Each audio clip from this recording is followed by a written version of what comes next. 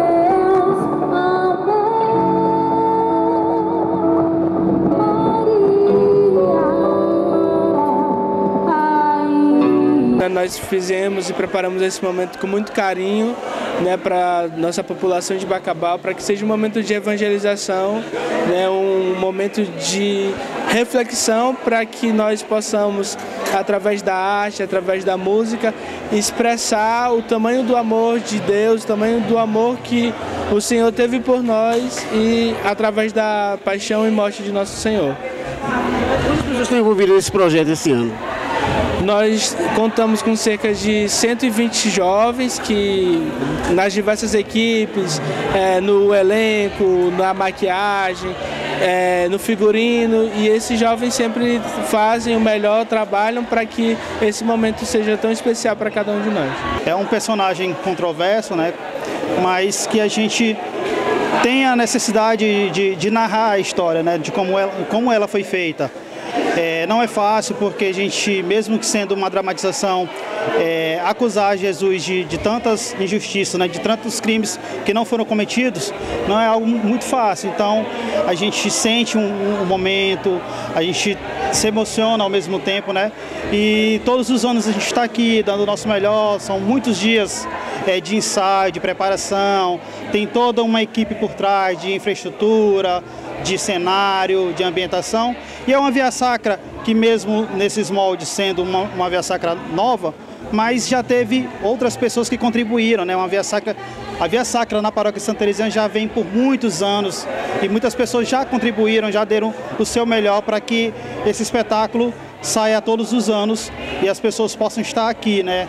Também é, participando e vendo o quanto é, é, Jesus é, se doou por cada um de nós. É uma apresentação que está neste período da Semana Santa, da Sexta-feira Santa, em que a nossa juventude demonstra a piedade e o talento com o teatro, a encenação de um, uma parte é, do mistério que centraliza toda a fé cristã, que é o mistério da paixão e morte de Jesus na cruz, um Deus que se entrega por amor. E a procissão com a imagem do Senhor morto em silêncio que fazemos aqui pelas ruas do centro da cidade em torno da Catedral de Santa Terezinha. Um momento esperado, né, um, um teatro que foi ganhando forma, vida, cores, é, é, talento ao, ao, passar dos anos, com o passar dos anos. Antes fazíamos pela manhã e hoje se transformou num grande espetáculo que apresentamos aqui em Bacabal. Né? E a turma, a juventude cada vez mais tem se qualificado e melhorado no figurino, no, no teatro, na, na, encenação. E hoje né, a expectativa é de mostrar né, para todos aqueles que acompanham a Via Sacra aqui da Santa Terezinha né, um verdadeiro espetáculo de fé, de, de emoção, de oração em torno do mistério da nossa fé. O deputado estadual Roberto Costa também esteve presente no evento e ressaltou a importância cultural e religiosa da Via Sacra para a cidade de Bacabal. A alegria nossa de ver um grande espetáculo aqui da Via Sacra que está sendo realizada, produzida pela Paróquia de Santa Terezinha. Parabenizar aqui os organizadores, o Pablo Lauro, os atores, todos a, a comunidade aqui da Santa Terezinha. Um espetáculo que, assim, tem deixado, passado muita emoção, passado muita reflexão, aonde também a presença do público aqui está marcante, todas as cadeiras lotadas, a presença realmente da nossa população e a gente fica feliz de ver que Bacabal ele tem crescido também nessa questão cultural, na questão religiosa nossa, com esses espetáculos que são fundamentais para a cidade. Né? Hoje nós já participamos da, da Via Sacra da, da Igreja São Raimundo, ali na região da Vila São João. É, temos ainda hoje também a Via Sacra da Frei Solano também, que é uma outra grande apresentação que é feita nas ruas da comunidade também, que já virou também uma tradição. E hoje, aqui nessa, nesse trabalho que a Igreja Santa Teresinha tem feito através de apresentar a Via Sacra através de um musical então, assim, está sendo uma coisa extremamente diferenciada. E nós ficamos felizes porque são grandes espetáculos que têm dado também é, oportunidade para que a população de Bacabal possa vir assistir. É um momento de lazer, mas acima de tudo, é um momento também espiritual, de reflexão.